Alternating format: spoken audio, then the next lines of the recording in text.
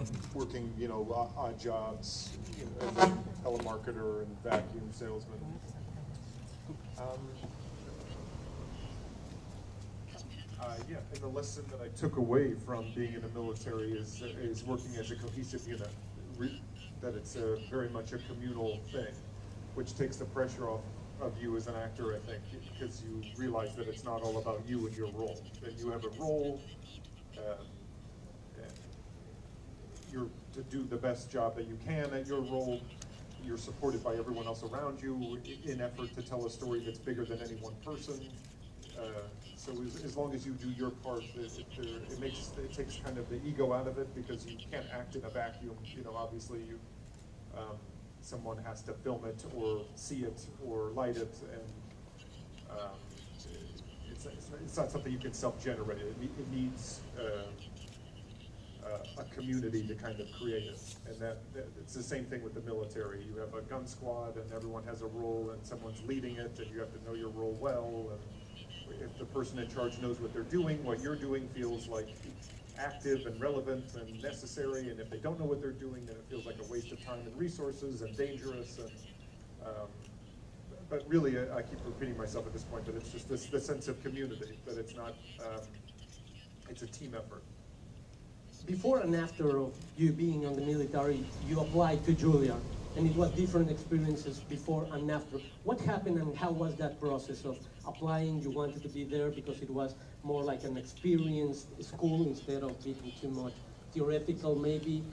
What wanted you, why did you want to be in Juilliard, and what changed it af- before and after being in the military that made you being accepted?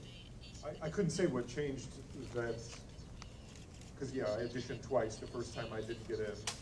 Um, I think probably, maybe the thing that changed, you'd have to ask the people who, who let me in, I guess, but, uh, was that maybe, uh, before I just wanted to be liked, and I feel like the second time I auditioned, I felt like I had an opinion about what I was saying, whereas before, all my opinion was just to get accepted, you know, and, uh, but then you, I had a little bit of life experience, uh, before auditioning the second time, and I, I, uh, feel like that, that, maybe that's what carried into the second audition.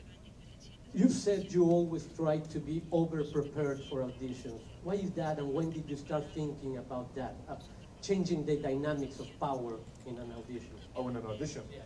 Um, oh, well, because the dynamics are set up for you to fail. There, it's, it's not a natural part of the process. Like, uh, uh, auditioning, uh, uh, in a way, has nothing to do with your actual job. There, you know, when you actually do your job, you kind of get the luxury of finding it a little bit, but an audition is kind of like an end result. You, you know, they, they want you, they, not, not a lot of people have the patience for, oh, it's not there today, but they'll get it eventually. They, they, they want to see the character right away, you know. And, and that, that dynamic, it doesn't make sense. So, uh, and also the, uh, but it's kind of necessary, you know. Um, uh, so I, I didn't, I changed my mentality when I auditioned, uh, uh, as opposed to looking at it as being judged by people, I looked at it as an opportunity for myself to act. So like I, I could do how, work on it, I only had like two days to get it ready, but, and, so that was unfortunate, but obviously like you do the best you can in the two days that you have, and then, um, uh, I would look at it as my, you know, this is my interpretation of it. You, you also I have, also tried to hate everybody in the room. Like, I feel, I feel, I feel like if you go in hating everybody, then there's, there's no balance of wanting to be liked, because you could take it or leave it. And if you didn't get the job, you're like, oh, you see, I told you, you know, but I didn't like those people anyway. on the other hand, you always try never to impose your rhythm or your pace in a set. Well, that's different. Well, auditioning is different than, uh, actually doing it. Undoing it, you know, it's a collaborative thing. It's not about me and my journey, it's about telling the overall story, what the director is trying to tell. My job is to support him. Acting is a service industry, in my opinion. It's not, let me show up and impose my idea on everyone else. And obviously, we're different people, so you may have a different idea about how it should go, and I may have a different idea of how it should go, then we'll figure it out together. It's not, uh, uh, you know, this is my movie, it's my, you know, like, I'm gonna tell you how I think, because I just learned that that closes you off to maybe a better idea. You, I, I feel like you have to do a lot of work before you start shooting. I, I try to do just to make myself calm, so I'm not nervous that I, I skip steps or I, I, I'm phoning it in or something. But then you have to be prepared to let it all go the minute you start shooting if there's in sacrifice of a better idea. And that, that makes sense to me, and I've seen it in practice with a lot of people that I've worked with, these great directors, you know, who you would imagine you would just come on set and it would be a dictatorship where they're like, you know, I've been doing this for a long time, I just, just do what I say, but they- they're, they always come from a place of, you know, they, they know the subject really well, they know the story really well, but they're very, they're open to being wrong in sacrifice of something better, you know. Uh, So I try to keep that in mind. Going back to those years in school, what do you remember the most? What was something that you, could have learned that maybe in the moment didn't make so much sense, maybe you didn't value, but coming of the years, after the years, you said, that was something very valuable, very important for me as a student in Juilliard. And living in New York City, City, which is also a very strong influence.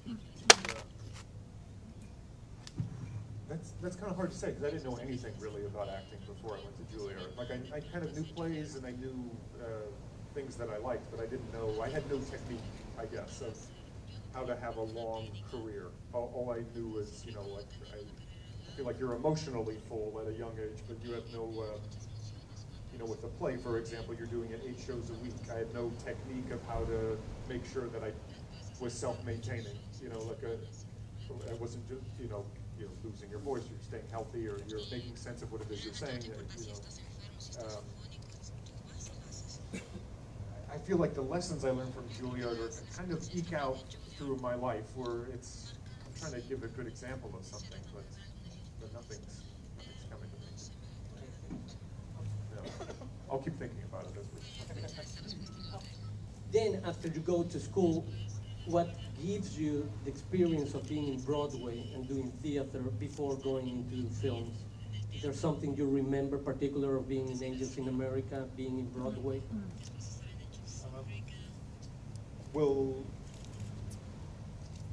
I guess the benefit of doing the play, there's lots of things that you can apply to being a film, even though they're completely different. But uh, I always felt that you do a show eight times a week, and often on Broadway or off Broadway, which was Angels in America, it's, you know, for three or four months. And always at the end of that, even though you've been doing it eight shows a week for three or four months, always at the end, I wish I could go back to the beginning, because now I finally have a better sense of the character or, or um, a more economical way of telling the story. And, and I could just see how you can feel it, how the story, the play shifts from when you start for, uh, three months earlier to where you end, you know, three months later. And I, I know that uh, applies to film, that where um, you may get the benefit of doing a lot of takes, and that's, you know, say you do 20 takes, that's 20 different ways, that's 20 different ways you can tell the same story, and there's no right answer, which is both comforting and kind of terrifying, that you never, in acting, come to a right answer. You, you never quite figure it out. But I know that there's different ways to tell the same story, and I, you know, because of time or money on a film set, you only get so many opportunities to try to do that. Tell me a little bit about you being a cinephile. Was this developed during being in New York City, but also I've been reading that your grandfather had this like binder with a lot of films in VHS. Was this a combination? Because you've been talking about, I wanted to be an actor, to be working with the directors I admire. And you have a very impressive list, list with, from Jarmusch to Scorsese to Spike Lee and Terry Gilliam and all that. How did you develop that cinephile side of you between the teen years and the junior years? What do you remember of watching all those VHAs? Yeah, there was, my grandfather, yeah, as you said, had a binder of movies that he would tape off TV, so my sister can I, my sister and I could watch them, and they were, like, they had cut all the language out, because they were on TV. So I would watch them, so I was new, I, and plus my, my parents really, uh, my dad in particular was really, uh, followed movies, so I knew adults were paying attention to these, you know, to films. And my grandfather in particular, for like Audie Murphy movies to Jaws to um, um, Lethal Weapon, like all, all, all these great movies that were very diverse. And then when I got in my teenage years, there was, you know, Blockbuster, I mean, there's, they don't have this anymore, but, you know, Blockbuster Video and Hollywood video stores, basically. And we would just camp out of video stores and give ourselves our own film education. And then it was just kind of through that that I found, you know, Spike Lee or, you know, uh, Terry Gilliam, all these great directors who, whose movie I liked, and I never imagined that, you know, ten years from then I'd actually be working with them. Let's jump into some of your films. How was the experience of working with the Coen brothers and being in Inside Llewyn Davis? And I believe you are kind of a little bit of musical.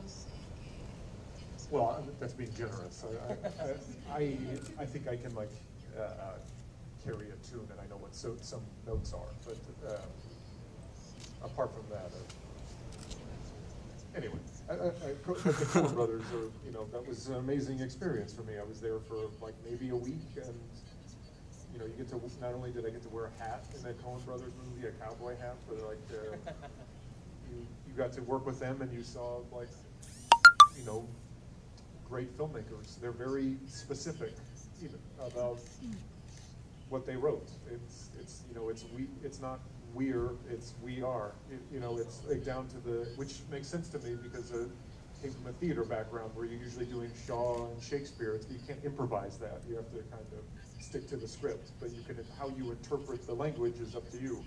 And they're just, they're, they're amazing. They're, and it's been often said, but it's so true that they're two heads of the same coin and like, uh, you could really ask one a question and the other one would come up with the same answer.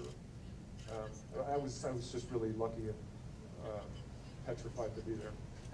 and then going into Paterson and Jarmusch and playing this character that is many things, is a bus driver, is a poet, but it's not defined by those things. It's more, so much more. How did you develop that character? How did Jim, how, what did Jim Jarmusch told you he wanted to do with this portrait? Well, kind of what you're talking about, kind of, kind of um, uh, almost how creating something can be mundane. You know, it's, it's not often in this uh, huge explosion of inspiration, and sometimes it comes from uh, Paterson has structured his life uh, so his physical life will be on autopilot. He doesn't have to think about the clothes he wears because he pretty much wears the same thing every day. And in his job, he has a uniform. He has a bus route. It's pretty much the same places every day, meeting the same people. He goes, yeah, he has a routine. It's very, so he, it, but it allows him to float in life. So he can do his job, but he's he's carved out time so he can drift mentally and, and write. You know, he goes to the same bar. He has one drink. He walks his dog. You know, it's it's all very, and that that makes sense to me. Where you obviously as a life uh, as an actor, you crave kind of structure a little bit. So you can create when you want to. And his wife is almost the opposite. She can create anywhere. You know, he's outside kind of uh, drifting around the world creating, and she's kind of locked in the house coming up with all these um, all these ideas. And I thought that that was just really beautiful to me. Then going into silence and Martin Scorsese, do you still believe that was the hardest job you've ever done? Because I, I, heard you say something like, it's amazingly uh, hard to be hungry, to be really hungry and trying to act. Because you had to lo- lose a lot of weight, and it was a physical demanding job as well as dramatic role. How was that as an experience for you? Yeah, it was hard. I mean, it was great because I got to work with Scorsese, who I think is the tip of the spear as far as directors are concerned. He's, you know, um, he's a master. Uh, it, yeah, losing weight sucks. It, like it, uh, you just become obsessed with counting calories and um, uh, because the look of what we were going for, the story of it was that when he leaves in the story and is gone for a month, you, you, we really like this idea, or- or Scorsese talked about this idea of like, you really want to ask the question of like, uh, because we have no lines to say it, how can we visually show, ask the question of what, uh, what's been going on, you know, for the past month? What's, what, what have they been doing to him? And they wanted to make it uh, immediately clear. So it was really hard. But then the good thing about it is you're so tired that you, you don't put anything on top of it. You're not, you're not trying to come up with ideas. You just have enough energy to say the lines and listen, and that's about it. How were the conversations with Martin Scorsese about a film that is so personal, important for him, that took him a lot of uh, time to to release, to produce? Yeah, I can't remember exactly how many years it was, but something of over 20 years. Same thing with Terry and Don Quixote. It's like 28 years.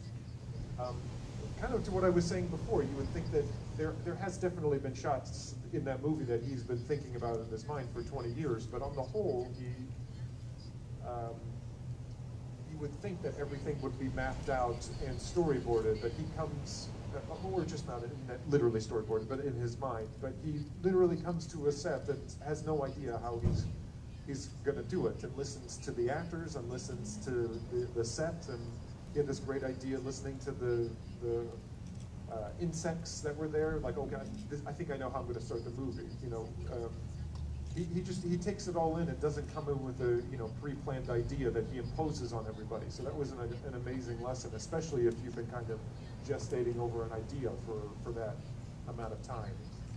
You know you, you never figure it out which you, you never know anything. You never know anything. Before going into BlacKkKlansman and Don Quixote, um, I would like to know how did you assimilate to be part of a global worldwide phenomenon? Halloween just passed, and your character Kylo Ren may be one of the most popular costumes for kids in Halloween, and suddenly you could be opening the, the front door of your house and finding a mini Kylo Ren in front of you. How do you take in that? I don't know. I don't know. It's very surreal. I mean, imagine if that happened to you. It's but yeah, it's yeah, it's the same for me. I have no idea how to process that. It's fun. I mean, especially fun for the kids in my building. It only gets awkward when my, my dog walker shows up with a Kylo Ren T-shirt, and then it's kind of strange. You know, the, here's here's my dog. Take him. Um, but apart from that, the kids I like. You know, the um, it's surreal. It's, it's surreal. I have no I have no way to. You mentioned in an interview with that working with Steven Soderbergh, changing from another to another film, that it was an, a blast because it was really economical working with him. Yeah. What did you refer to? What were you talking about? Soderbergh doesn't approach a scene of how many shots uh, uh, he, um, he doesn't think of it as like I need to get a lot of shots to make sure I'm covered. He thinks how how many how many little shots can I get? Not not tiny shots, but how many? What is the least amount of setups I can do to tell the story? and I I, I, lo- I love that idea because I, I feel like there's such a, I mean, sim- similar to Paterson, there's such beauty in economy, you know, where there's no waste of energy. There's nothing you're putting on top of the character. You're saying it is a fact, and that's it. There's, it's not my job to have an emotion about it. It's the audience's job. So, and it, it's hard not to get selfish as an actor to feel like I've been thinking about this for a year. You know, I've been getting physically ready. I've lost a lot of weight, or you put on a lot of weight, or you memorized, or you learned how to drive a bus. Like for Paterson, it's it's hard not to um, try to make the most of the moment and you know go as deep as possible. But sometimes you're so busy having your feeling that no one else is feeling anything. You know, uh, so Soderbergh is is he does he works in a way similar to Spike. Actually, they work very fast and are, are very much about empowering you to follow your impulses.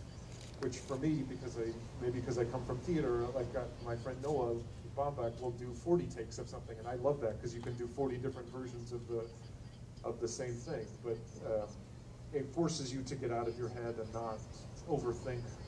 And I think that's true. Sometimes the I feel like the best version of a of a movie, sometimes the best characterization that you have of your character is the first time everyone sits down at a table and reads it, because there's no no one's trying to do anything. They're just they're just barely catching up to the language, and it's right at the front of everyone's feet. Uh, uh, and the words are at the you know the tip of your tongue. That that's to me can be sometimes the most exciting, and then it gets lost in overthinking the shit out of it, or um, overanalyzing things, and you're in your head, and it's not organic. You know, so I see either way. There's no version that's right. It, uh, there's they're just both interesting ways of working. Talking about the man who killed Don Quixote, uh, how did you get involved? When did you first heard about this story? How did Terry Gilliam approach you, and what were you talking about the character? I, I mean, I first heard about this movie when I was uh, in high school because I knew that it was, you know, yeah, I discovered his movies and wanted to know what the next thing he was doing, and and then you know, fast forward to how many 15 years later that you're actually doing it is was, you know, it was a no-brainer. That he reached out about this movie, and uh, obviously the answer is yes, anything that he's doing. And then the character. He, I don't know if you've read the book, but it's the spirit of the movie is very you you expect like Cervantes and it, it, it to be some you know dense work of of fiction that's you know kind of a slog to get through, and, and it, there is beautiful writing in it, uh, but it's also filled with like you know, you know, slipping on a banana peel, you know, like fart jokes. It, it's it's both highbrow and, and lowbrow.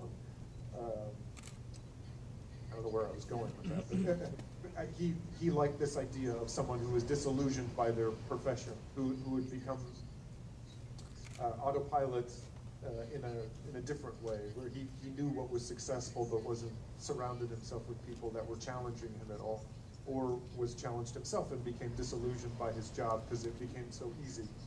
Um, and to, to meet someone who's pure inspiration, who, who, who breathes it, to be confronted with that, and then the process it takes of killing your old self and you know coming back to who what originally inspired you to be you know to do your job in the first place. I thought again was a great idea. Shall we take some questions from the press? I believe there is a mic.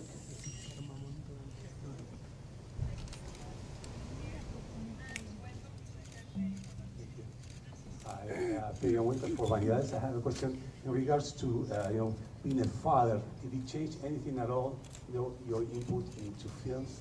And, I'm gonna leave that one. come on. Okay.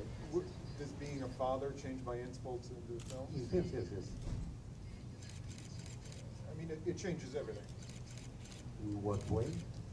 I, I don't, I don't wanna get into it. I don't wanna get into how, it's kind of private for me. Uh, So keep it that way. And about fame then and popularity. Sure. Uh, what, what, what it means fame for you and did it change at all using the Star Wars movie at all? Um, I don't, I don't know if I'll ever understand or like, be comfortable with fame because it's, as you can imagine, an unnatural way of being in the world. I mean, just imagine living your life for 30, 40 years one way, and then suddenly your, the you know, people's relationship to you changes. That's that's a strange. Uh, it's a strange way to exist, and some people are more comfortable with it, and some others it's not. It's not what comes natural to me. It's also um, uh, kind of antithetical to my job. My, my job is to live life and uh, make mistakes and not worry about um, uh, being analyzed so much because you're trying to have experience and take, uh, you know, internalize that experience and maybe use it later or maybe not. It's just that, that's just how I am used to being in the world. But then suddenly, when you go to a place and you're the person that people are looking at, I, I as you can maybe imagine, that would probably make you self-conscious. You know, it, it, you can't help but be aware of, you know, and uh, some people are natural about it, and they, they can, you know, exist in the world, and it's and it's no problem. And uh, and you know, I have my moments where it's fine, and then others it just seems completely um, counterintuitive to being a person. Uh, so, so I, I don't have an answer for you, but that, that's how I deal with it. I guess is uh, is is not really dealing with it and uh, trying to ignore it as much as possible and and um, and you know live life. Next question. Thank you. Uh, Yesterday afternoon, Mr. Gilliam told us about his uh, approach to directing actors, and he also spoke about trying to find a specific side of uh, how you act, how he directs every specific director. He quoted uh, Mr. Pitt in 12 Monkeys and finding this uh, funny, funny gestures he made. So I'd like to ask you what uh, Mr. Gilliam's directing brought about you, taught you in the creation of the character in Quixote. Uh, I tend to overanalyze and overthink, you can't you can't do that so much in Terry's movies. You, uh, not that you're not thinking about what the story is, and there's no conversation happening. It's just like throwing things at a wall. It's not that. It's you know, filled with conversations about how uh, you know what the story is. But you can't. Uh, uh, you can't overanalyze. Similar to Spike in a way, I guess. In Terry's movie, often we're fighting the sun, we're fighting the budget, we're fighting sand and rocks. You know, we're in like some precarious, you know, volcanic mountainside, and we don't have a lot of time. Uh, you're wearing crushed velvet pants, hanging upside down. You know, uh, a green screen giant. You don't really have time to think. You just kind of have to respond. Um, that was beneficial for me in particular because I'm, I'm very much in my brain. A lot.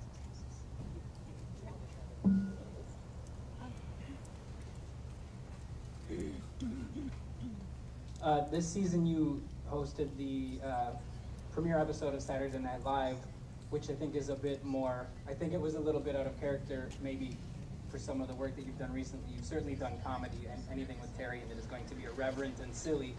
But Saturday Night Live is sort of on a different level. You really have to let go. I know it's live and that's not uncomfortable for you, but was there anything about that experience that was unique to you and different than what you've done either on the stage in more scripted sort of, you know, months to prepare theater or the more dramatic work that you've done for cinema? Well, it's my second time having done it, so it wasn't the, uh, totally foreign to me. Uh, um, yeah, Saturday Night Live is like the kind of a rare institution where it, it is very, it's a cross between theater and, um, in that it's, you know, and uh, TV, and that it's live TV. So obviously the pressure is on to kind of go with it and not overthink. But yeah, it, it's rare, so I'm, I'm always grateful when I'm asked to do it. Thank you very much, and thank you, Adam, for being here. Okay. It's been a very pleasure talking to you.